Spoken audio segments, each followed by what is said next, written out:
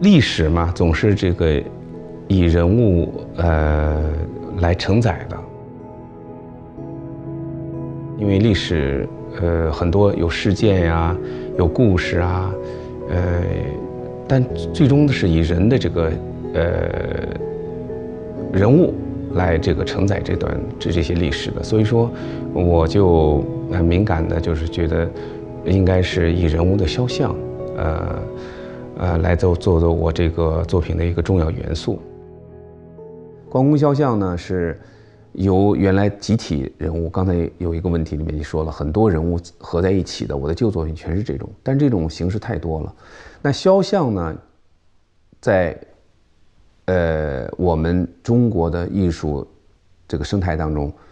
巨幅的肖像还是比较少见的，所以虽然。呃，也不是没有见过，也不是全新的，但是呢，相对于我过去那种形式来讲，它是更贴近现代一些。但是呢，后后来呢，因为这个一九七八年改改革开放以后啊，西方的当代艺术，呃，进入中国以后呢，对我们都产生了很大的影响。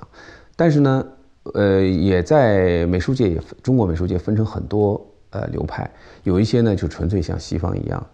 呃，我是呢开始的时候呢。呃，是中国，就是完全那个中国那一套东西的。后来呢，我逐渐的呢，就是结合了这几种流派的这个长处特点。我认为呢，我是这样的一个艺术观点：首先，呃，中国的艺术要关心中国的问题；第二呢，既然是艺术，它就要有这个艺术形式问题。这个艺术形式呢，你不得不讲究，你不能只是说有很好的内容，但是你这个艺术形式呢是不过硬的。是陈旧的，是没有效果的就不行，所以我一直就探索这个问题。虽然我的作品呢经常在国内获奖，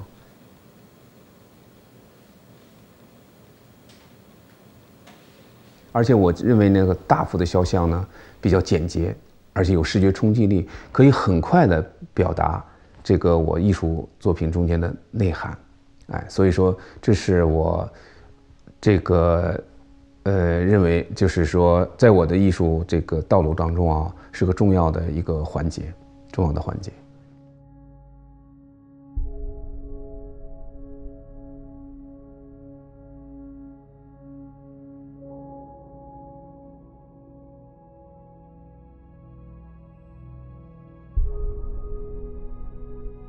呃，看起来呢，就是要震撼，要有一种打动人心的这个。呃，笔触啊，形状啊，我觉得矿工非常合适，所以说呢，我就呃画矿工，当然就是前面已经说了两点，一个是视觉需要，美美美的需要，这这个这个是一种呃就是艺术的需要吧。另外另外一种个就是呃人文关怀，哎，对他们的尊敬，呃，当然也有怜悯，呃，也有关心，反正各种各样的。哎，我跟工人，在这个跟他们工人一起下井劳动，然后呢跑了很多，包括山西、河北，呃，北京门头沟地区煤矿我都去过，所以我跟那些煤矿很熟，煤矿的工人还有他们的这个领班，啊都很熟，呃，而且经常跟他们喝酒吃饭，啊，他们的名字我也能叫得上，所以是所以说是完全不一样的。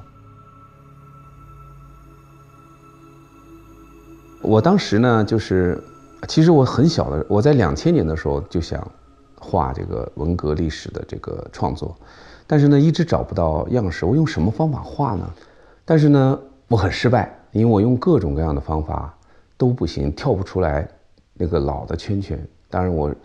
但是呢，又没有苦于没有这个方法哈，毕竟是艺术嘛，你不能喊口号，你不能随便说要做什么东西，你总得找到一个方式。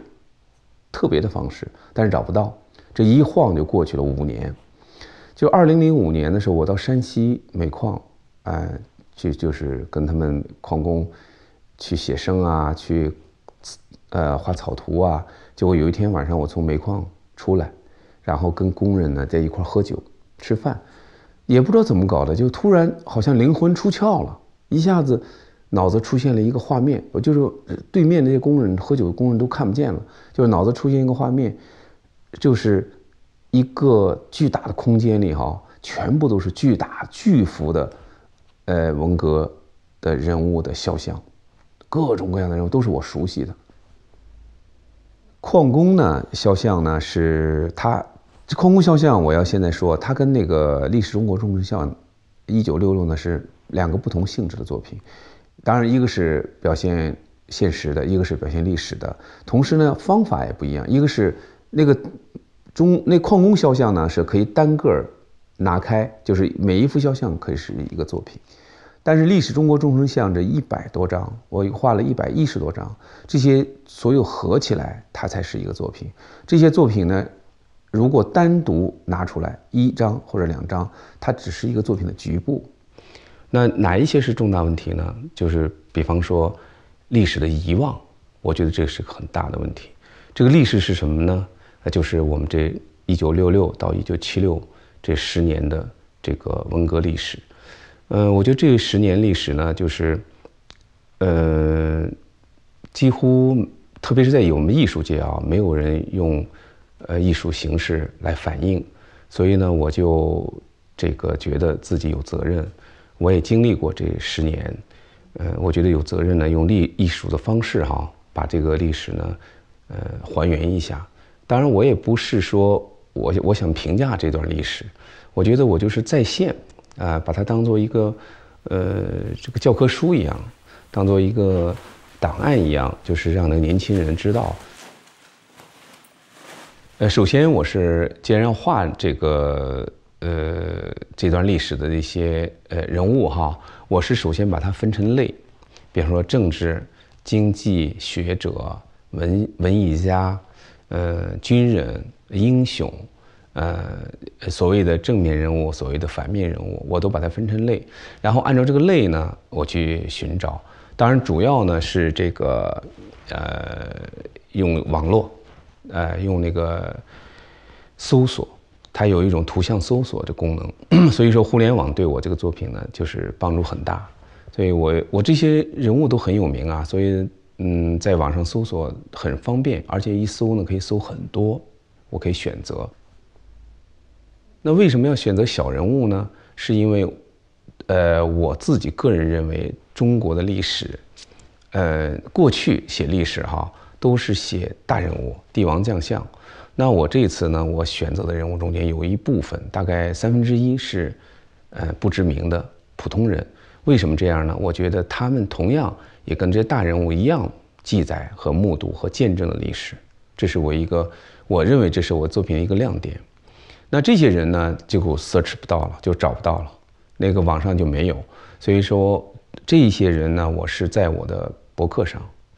呃，发了一个电子的公告，就是征集他们的肖像和他们的历史，就是有他们的故事的话，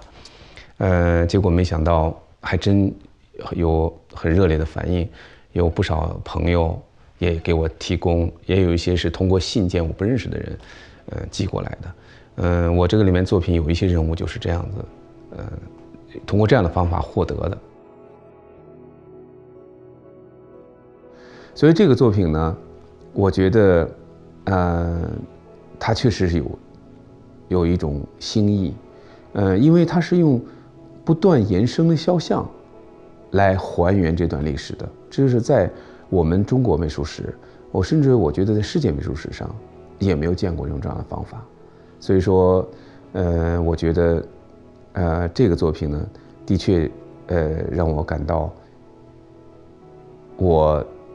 呃，就是说我我这样子想，就是说，如果我，呃，这一辈子，呃，就完成这样一个作品啊，我都觉得死而瞑目了，因为它既完成了我一个夙愿哈，我要表现这段历史，同时呢，又是用一个采用一个全新的方法。